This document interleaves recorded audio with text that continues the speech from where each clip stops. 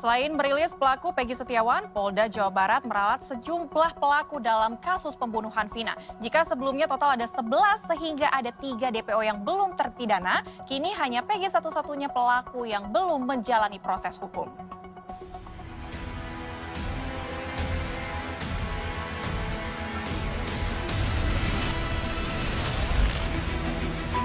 Penyidik Polda Jabar meralat total pembunuh Vina yang awalnya disebutkan 11 orang menjadi 9 orang alias Peggy adalah DPO satu-satunya dan sudah tertangkap. Dengan demikian, dua buronan yang sebelumnya disebutkan, Andi dan Dani, dianulir. Keluarga almarhum Vina mempertanyakan perubahan jumlah pembunuh ini. Polda mengatakan bahwa DPO ini bukan tiga, hanya satu. Mungkin saya dan lawyer nanti akan mempertanyakan itu ke pihak Polda Jabar gitu kan.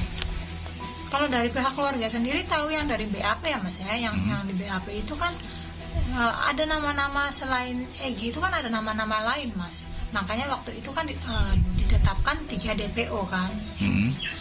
Jadi ya keluarga hanya tahunya 3 DPO. Tapi sekarang Polda bilang hanya satu DPO. Mungkin nanti saya akan mempertanyakan, kenapa yang tadinya tiga jadi satu?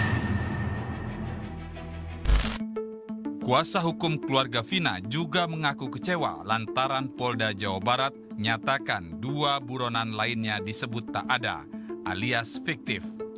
Jadi di dalam amar putusan ini sudah jelas sebagai DPO. sebagai DPO yang harus dicari. Jadi pertanyaannya siapa yang paling bertanggung jawab atas kematian Vina dan Eki? Kalau dua DPO itu dihilangkan, apakah serta merta kami selaku kuasa hukum percaya begitu saja? Jadi kami tidak mau tahu, kami tidak mau tahu, kami tahunya yang berdasarkan keputusan itu ada dua nama lagi yang harus dicari. Sebelumnya warganet sempat menduga buronan bernama Dani merupakan anak dari mantan wakil Bupati Cirebon, Wahyu Ciptaningsih, Ramadhani Purwadi Sastra. Lamanya tiga buronan kasus pembunuhan Vina tak tertangkap membuat netizen berasumsi pelaku merupakan anak tokoh penting.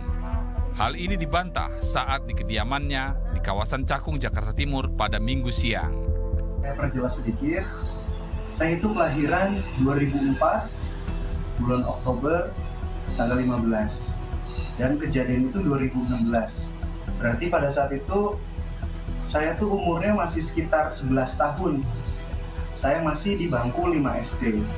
Jadi kalau saya dibilang terlibat kasus ini sangat-sangat tidak mungkin gitu. Akun media ya, yang di TikTok maupun Instagram itu menggiring opini bahwa Dani ini nih anak pejabat besar gitu Iya, loh, betul. anak pejabat petinggi gitu, Iya. tinggi di Cirebon. Vina dan kekasihnya Eki dibunuh secara keji di kebun belakang bangunan 27 Agustus 2016 silam. Para pembunuhnya menutupi seolah-olah keduanya meninggal karena kecelakaan, namun terkuak ternyata keduanya dibunuh secara mengenaskan. Khalid Mawardi, Noventri Aryo Putra melaporkan untuk NET. Lalu bagaimana pakar hukum pidana melihat dihapusnya dua DPO secara tiba-tiba oleh polisi? Putusan.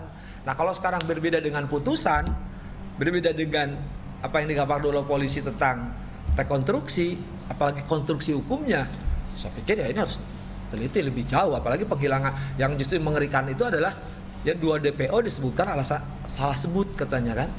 Lah masa salah sebut kalau di putusannya ada kok.